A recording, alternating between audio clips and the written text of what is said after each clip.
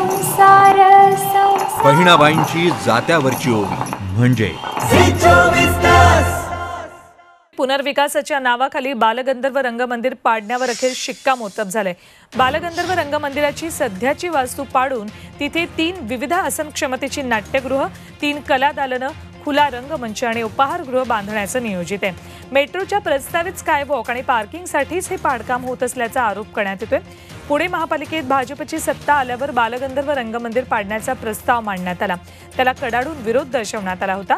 मनपानं स्थापन केलेल्या समितीनं हा प्रस्ताव कायम ठेवला आहे